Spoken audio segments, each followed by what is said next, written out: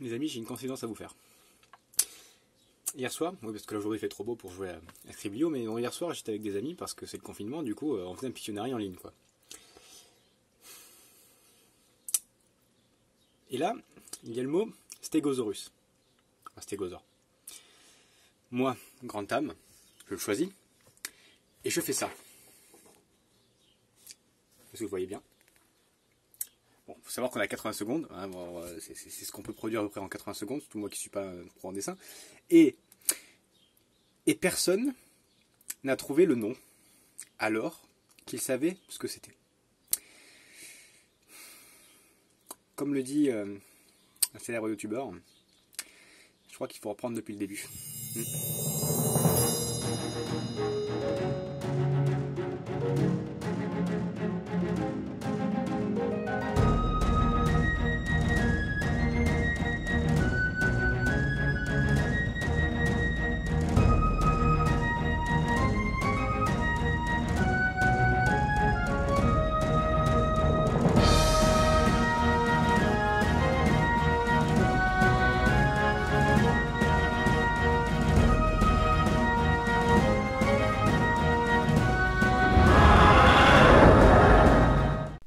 Tous, et donc vous l'avez compris, euh, avec l'introduction, on va parler aujourd'hui d'une espèce qui me plaît beaucoup, et en plus c'est un dinosaure, c'est fabuleux, euh, qui est le Stegosaurus, donc connu par beaucoup d'entre vous. Ça va être une vidéo un peu spéciale, puisque il y a beaucoup de choses à dire sur cet animal, donc elle risque d'être un peu plus longue.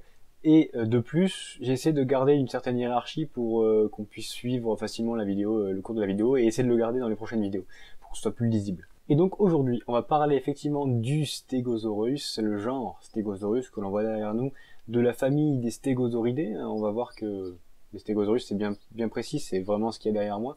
Donc Stegosaurus, c'est un genre éteint de dinosaures, bien évidemment, à dos cuirassé, donc du grand sous-ordre des Thyréophores, Thyréophores qui signifie porteur de bouclier, ce sous-ordre qui est classé donc dans le grand ordre des ornithichiens, l'un des deux grands ordres des dinosaures. C'est un animal qui a vécu au Jurassique supérieur, entre 155 et 150 millions d'années. Pour commencer, on va parler de l'histoire des fossiles du stégosaure, qui sont hauts en couleur, un animal très connu aujourd'hui, pour une raison principale, qui est donc qu'il fait partie des grandes, des grandes battles entre euh, paléontologues à l'époque de la guerre des eaux. C'est un dinosaure qui a été trouvé euh, principalement aux États-Unis, dans le Wyoming, le Colorado, l'Utah, et dans la grande formation très connue euh, du Morrison, encore aujourd'hui euh, une, formation géologique très connue euh, et répandue en paléontologie. Et c'est effectivement dans la formation du Morrison que beaucoup d'espèces ont été, voire presque toutes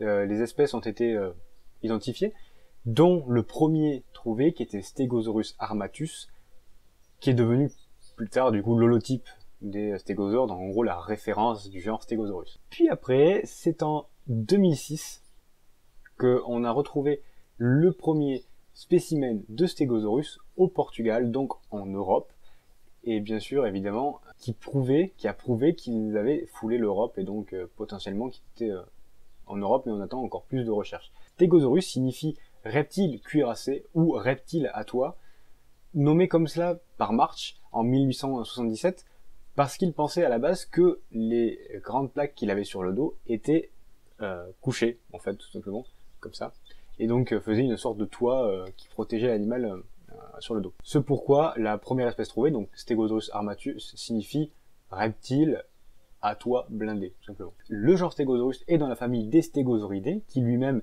est frère du groupe des Wangazoridae des Wangasauridés dans l'infraordre hein, des, des Stegosauriens. Évidemment, comme je l'ai dit plus tôt, cette, ce, cet infraordre qui donc fait partie du sous-ordre des thyréophores, où on peut retrouver d'autres dinosaures très connus comme l'ankylosaure, entre autres. On peut parler euh, d'autres genres du coup, enfin d'autres oui, genres qui sont frères des stégosaurus, qui sont par exemple les Kentrosaurus, qu'on retrouve principalement en Afrique, euh, qui commencent un peu à être connus, et d'autres familles asiatiques un peu moins connues, qui sont euh, donc moins connues, qui sont les Werosaurus. Je vais euh, citer quelques espèces qui sont un peu connues, en tout cas connues parce qu'elles sont bien classées dans le genre euh, Stegosaurus et euh, en tout cas qui sont réelles, c'est-à-dire qu'elles ont été déterminées et on rajoute toujours de nouveaux fossiles à celle-ci sans en séparer d'autres. On peut commencer par Stegosaurus armatus, le premier trouvé, donc qui a toujours le même nom d'espèce et, qui reste aujourd'hui la référence. Celui-ci a été donc déterminé par un squelette partiel avec 30 individus, 30 individus de référence, il me semble, avec des crânes de même partiel, mais à force de, trouver, on a pu reformer euh, un spécimen entier. Et donc il avait une queue à quatre épines, parce qu'effectivement, on en parlera plus tard, c'est un animal qui a une queue épineuse. Enfin épine, on peut parler plus de pique, hein, c'est parce que c'est pas de la petite épine quand même. Hein. Après, on va pouvoir parler du stégosaure le plus connu, le plus répandu, qui est Stegosaurus stenops, euh, le plus connu dans le parce qu'en fait c'est celui qui est le mieux reconstitué. On a trouvé un, animal, on a pu reconstituer l'animal quasiment entièrement, j'imagine je dis quasiment parce qu'il reste toujours peut-être des petites parties, mais en tout cas on a pu reproduire l'animal en entier et surtout euh, donc le squelette articulé complet. Donc celui-ci connu de larges plaques, donc des très grandes plaques sur le dos avec quatre épines toujours, quatre pics au bout de la queue. Ensuite, ensuite on peut parler de Stegosaurus longispinus lui, c'est un peu plus controversé. On pense qu'il y en a qui hésitent sur le mettre dans la famille des Kentrosaurus. En tout cas, pour l'instant, il est dans la famille des dans le, genre pardon euh, des Stegosaurus. Et euh, lui, il est surtout remarquable euh, par la longueur de ses épines au niveau de la queue. Par la suite, j'ai parlé de celle-ci, mais il y a de tas d'autres espèces qui ont été nommées, mais qui finalement se sembleraient se recouper et être, je crois même pour la totalité, être de la famille, en tout cas, du genre de Stegosaurus Armatus. Donc là, après, euh, c'est une histoire euh, de, paléontologue. Maintenant, on va passer au plus intéressant. Hein. on, va bien sûr parler de sa description et on va voir que c'est un animal haut en couleur, très spécial et qui vole des tours, car il est très très intéressant à, étudier. Déjà pour euh, les personnes qui aiment les, gros machins et les trucs stylés, on peut commencer par dire que c'était un animal qui faisait quand même dans les environs 9 hein, mètres de long pour 4 mètres de haut, donc un sacré bestiau, pour à peu près 3 tonnes, donc euh, un beau bestiau quoi. C'est évidemment l'un des dinosaures, euh, un des animaux les plus herbivores les plus connus, donc parce qu'il est très reconnaissable, notamment avec ses rangées de plaques sur le dos, ses épines, sa posture, plein de trucs qui le rendent très remarquable euh, chez les dinosaures. Maintenant, je vais essayer de décrire l'animal de manière propre, entre guillemets, et donc on va faire ça de manière détaillée et séparée, et on va commencer par parler là euh, de la posture de l'animal qui est très spéciale, car effectivement c'est un animal qui avait une posture avec l'avant qui était plus bas que l'arrière. En tout cas, les pattes avant étaient plus, petites que les pattes arrière, ce qui est assez rare euh, chez les dinosaures, chez beaucoup de dinosaures, chez beaucoup d'animaux, je veux dire, parce que les dinosaures, c'est chez eux qu'on en retrouver quand même pas mal. Et donc, ça, ça peut nous dire deux choses. C'est simplement déjà la posture de l'animal est fait pour que la queue soit en hauteur plus haute que la tête, quasiment. Euh, je pense qu'elle est plus haute que la tête. Et la tête donc basse qui permettait non pas de brouter parce que l'herbe à cette époque-là c'était pas hyper répandu non plus, mais en tout cas oui toutes les, plantes euh, basses comme les, fougères basses etc étaient à sa portée. Et donc euh, devait rarement dépasser les mètres de hauteur pour manger. Triste vie quand on est grand mais qu'on a qu'on peut pas voir plus d'un mètre, c'est quand même con. Par contre, du coup, à sa découverte, Marche, qu'il a découvert donc, a pensé que c'était un animal bipède. Vu l'armature de la bête, hein, la charpente était très lourde, donc évidemment, ils ont vite conclu que c'était un animal quadrupède. Cela dit, un paléontologue nommé Robert Baker dira que cet animal pouvait se tenir sur ses deux jambes pour manger des herbes un peu plus hautes. Mais il donnera tout de même comme argument qu'il pouvait s'aider de sa queue comme un trépied et donc essayer de, avec l'aide d'un arbre, d'un tronc d'arbre de pouvoir manger les, plantes un peu plus hautes. Et maintenant, quand on parle de la posture de, l'animal et qu'on le décrit, on est obligé d'arriver à son crâne. Son crâne, très reconnaissable. Je pourrais même vous montrer un crâne de stégosaure que vous, le reconnaîtrez à force. Vous l'avez vu une fois, vous le voyez toujours. Donc effectivement, c'est un crâne qui est long et étroit et très petit par rapport à la taille de l'animal. Mais ce qui est aussi marrant, c'est qu'il va posséder un bec, un bec hein, tout simplement, avec des petites dents et on reparlera de cette dentition plus tard. Mais ces petites dents étaient retrouvées plutôt à l'arrière du crâne, euh, donc des dents euh, dentelées et plates, pour euh, qui suggéraient avec des abajoues, donc qui suggéraient qu'il gardait la nourriture dans sa bouche avant de la mâcher. Malgré sa grande taille, c'était probablement un animal très con. Oui. En vrai, non. Parce que je vais vous expliquer pourquoi. En fait, vous voyez sa petite tête, évidemment, il avait un très petit cerveau. C'était le dinosaure avec le plus petit cerveau connu, euh, de la taille d'une noix. Donc c'était pas pas très pas très fou, mais bon, on verra que c'est pas la taille du cerveau qui fait tout, puisqu'on va justement parler de son système nerveux. On va évidemment parler après son crâne de son système nerveux, qui en parlant du coup de son cerveau, mais aussi on a remarqué chez cet animal quelque chose d'assez spécial. En effet, Marsh euh, va trouver une cavité proéminente au niveau du bassin, près de la colonne vertébrale au niveau du bassin, qui pourrait comporter euh, quelque chose qui fait 20 fois son cerveau. C'est une idée qui devint célèbre et qui parla de un second cerveau chez le stégosaure. Il y a plein de, de, paléontologues qui pensent, à, qui pensent ça, en tout cas plus à l'époque qu'aujourd'hui, mais qui pensaient donc que c'était un cerveau qui permettait de contrôler tout l'arrière du corps, et en tout cas la, la synchronisation entre les pattes et la queue. La queue qui est un rôle très important chez cet animal, on va y revenir. Dans une autre famille de dinosaures, dans un autre groupe de dinosaures qui sont les sauropodes, très connus aussi, mais pas du tout dans la même branche. Ce sont des, là on est chez les ornithichiens, les sauropodes sont chez les saurichiens, sont chez les saurichiens. Ils ont donc aussi le même genre de cavité, euh, mais chez les sauropodes, c'était une réserve glucidique. Quelle est la vérité? Pour l'instant, euh, on n'est pas fixé à 100%. On a parlé de la, colonne vertébrale, on va parler donc des os de dos très particuliers chez cet animal, qui sont notamment les plaques osseuses. Les belles plaques qui ornent son dos. Magnifique animal. Effectivement, cet animal est d'ailleurs reconnaissable principalement grâce à ces 17 magnifiques plaques couleur sang dans les films euh, sur son dos. Et ce qui est encore plus intéressant, c'est qu'elle n'était pas rattachée au squelette de l'animal. Donc il y en a qui pensaient que qui pouvaient les bouger euh, de manière à, se protéger ou X raison. Il y en a qui ne pensent pas. Mais en tout cas, c'était pas attaché au squelette, c'était euh, des os qui étaient enfoncés profondément dans la peau pour une certaine raison que je vais donc parler maintenant. Bah, au départ, il faut savoir que bien sûr, on a cherché à connaître le but de ces plaques. Ces plaques, on pensait au début que c'était de la défense, tout simplement parce que c'était des plaques osseuses. Bon, on pensait qu'elles étaient, étaient là pour protéger la colonne vertébrale. On a trouvé que c'était des plaques qui étaient non pas en deux lignes, mais en tout cas plutôt en presque une ligne, en quinconce, qui ne protégeaient pas très bien la colonne vertébrale, surtout sur les côtés. Et en plus de ça, les tests, des tests ont montré très bien que c'était des, plaques osseuses très fragiles. Donc, aucune utilité dans la protection. C'est donc plus tard que l'on proposera l'idée que c'était simplement des plaques pour contrôler la température de son corps, à l'image de Dimetrodon ou de Spinosaurus pour les Jurassic Park euh, Donc une sorte de, panneau solaire rempli de vaisseaux sanguins, qui permettait donc de réguler sa température par rapport à celle du Soleil, etc.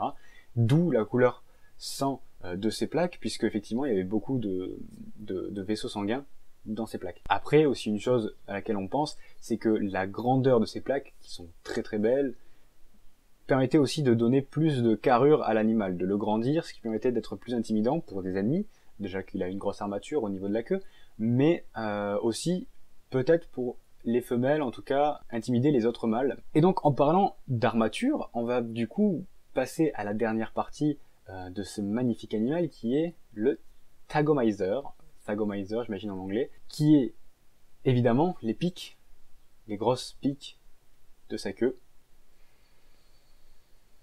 aucun commentaire. Déjà pour généraliser, le Tagomizer, qui n'est pas que chez le genre Stegosaurus, on peut le retrouver chez le Kentrosaurus ou même dans la, famille des Stegosauridés, ce sont des pics, il y a de 4 à 10 pics en général euh, sur la queue.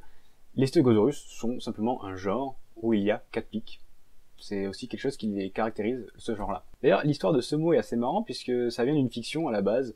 Euh, ce mot est inventé lors d'une fiction, puis aura été euh, réutilisé par euh, un paléontologue qui devait lire cette BD euh, et c'est assez marrant de, du coup de, de, maintenant de garder ce terme qui a été inventé à la base par un artiste sûrement très intéressé mais pas forcément scientifique. Comme les plaques sur son dos, plein d'hypothèses ont été avancées dès le début et bien sûr la plus répandue et, effectivement la plus vraie est celle de la défense parce que c'était quatre pics euh, très longues, très mobiles parce que on va parler de la queue rapidement parce que les paléontologues ont trouvé que la queue était très flexible, très mobile. Donc l'animal la gardait en l'air en plus, vu sa posture, euh, devait avoir une très grande utilité de cette queue pour la défense, en plus des pics qui lui permettaient donc de, de, balancer sa queue de manière euh, très fluide et efficace. Euh, cette flexibilité a été déterminée parce qu'ils ont découvert que l'animal avait moins de tendons dans la queue, donc c'est des absences de tendons qui permettaient d'être plus flexible et moins euh, restreint dans les mouvements. De plus, c'est un animal donc guerrier né, puisque en fait ses, euh, pattes arrière, très robustes, très grandes, euh, pouvaient se bloquer, et donc, enfin suivant des paléontologues bien sûr, mais pouvaient donc se bloquer, et grâce aux pattes avant, permettaient de faire des rotations parfaites et très efficaces afin de balancer la queue et de se d'avoir toujours une posture efficace contre un prédateur. Évidemment, l'hypothèse du combat sera confirmée quand on trouvera des euh, lésions au niveau de la queue, notamment là où, l'animal devait frapper avec et donc forcément ne pas forcément sortir indemne tout le temps. D'ailleurs, on peut même parler euh, de ceux qui ont les pics les plus longs chez les Stegosaurus, donc Stegosaurus stenops, qui avait des pics qui pouvaient de 60 à 90 cm, c'est c'est énorme, c'est une épée quoi, le machin. il a quatre épées sur la queue. Euh, d'ailleurs au début c'était représenté avec les pics plutôt à la verticale, comme ça, et finalement on s'est rendu compte que c'était plutôt horizontal par rapport à la queue, donc vraiment de faire un balancier adulte. Du coup, là, je parle de la dentition pour finir sur la description, puisque j'ai dit qu'il avait des dents euh, assez, assez particulières. En tout cas, il a des dents qui sont très reconnaissables parmi tous les dinosaures, notamment par ses petites dentelures. Alors, ce sont des dents dentées qui, sont, contrairement aux autres herbivores dinosaures, ne sont pas plates. Et donc, lui euh, n'avait pas la capacité de broyer de manière cyclique, en tout cas dans la bouche, de mâcher correctement les plantes. Lui, il avait plutôt donc des dents crénelées et pas disposées en batterie, qui n'étaient pas trop efficaces contre les plantes euh, robustes entre guillemets, en tout cas euh, pas tendres. Donc c'est un animal qui devait manger des plantes tendres en priorité. Et donc évidemment, on pense qu'il devait, comme beaucoup de dinosaures, comme beaucoup d'archosaures tout simplement, avoir des pierres gastriques, donc avaler des, avaler des pierres pour finir la mastication dans l'estomac, en tout cas dans le compartiment euh, qui, dans le compartiment à ce but, qu'on retrouve aujourd'hui chez beaucoup d'oiseaux, chez beaucoup de crocodiles, bref, chez beaucoup d'archosaures. Et du coup, effectivement, j'ai parlé de ces dents euh, à la fin parce que c'est ce qui nous a permis aussi, par leur particularité, parce qu'elles sont très reconnaissables, ces dents, de voir leur répartition géographique immense. C'était des animaux qui devaient être très prospères, très bien adaptés à leur environnement, car ils ont dominé énormément de place pendant énormément longtemps. En plus, il faut savoir que moi je trouve ça assez intéressant dans le sens où ça montrerait aussi que son écologie était bien à l'époque, puisqu'il vivait plein d'herbivores, mais dominés par les sauropodes. Les sauropodes, donc, Diplodocus, Brachiosaures, qui étaient des géants.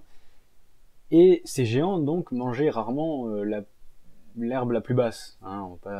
Ils mangeaient bien sûr, mais du coup, le stégosaure, lui, vivait avec eux, et je pense que c'est aussi pour ça qu'il vivait si bien là, c'est qu'il avait de base, il se contentait de ce qu'il y avait en bas, c'était très bien. C'est assez marrant parce qu'on a trouvé des empreintes de cet animal, mais on a trouvé 16 empreintes différentes bien sûr, donc 16 empreintes de 16 individus, qui allaient tous dans la même direction, avec des animaux juvéniles, des, animaux adultes, qui allaient tous dans la même direction, qui ont permis aux paléontologues d'expliquer la manière dont ils se déplaçaient et la manière dont ils vivaient. On pense du coup donc des troupeaux d'ailleurs euh, multi-âges, et donc qu'ils protégeaient, en tout cas qu'ils aidaient les euh, petits animaux à grandir et ainsi à vivre vivre sans euh, l'aide des adultes. Donc on pense que ces animaux maintenant vivaient en troupeau, entre en euh, d'adultes qui protégeaient les petits. J'ai trouvé ça marrant de finir sur cette anecdote-là qui est assez jolie pour finir, alors que c'est un animal extrêmement, c'est un animal qui est plutôt sanguinaire, on va pas te le cacher, donc c'est faux, hein, mais il se protège très bien et protège très bien ses progénitures en troupeau. Il ne devait pas être très emmerdé euh, à l'état adulte par les, les prédateurs, bien que les prédateurs de l'époque étaient assez gros aussi, hein, on va pas se le cacher. Je vous remercie d'avoir regardé cette vidéo, j'espère que cette vidéo vous aura plu. C'est la première fois que je parle euh, sur un animal qui est aussi connu, donc beaucoup de choses à dire, une vidéo qui est du coup longue, j'en suis désolé. Mais c'est aussi un animal extrêmement stylé, extrêmement reconnaissable, qu'il faut connaître, parce que bon, moi quand je vois Stegosaurus, que je le dessine parfaitement et qu'on n'arrive pas à me donner son nom, ça touche mon petit cœur. Je vous remercie donc d'avoir regardé ces vidéos, j'espère vous revoir pour les prochaines, et en espérant que ce confinement n'est pas trop long pour vous. Je vous dis à la prochaine, et bonne journée à vous.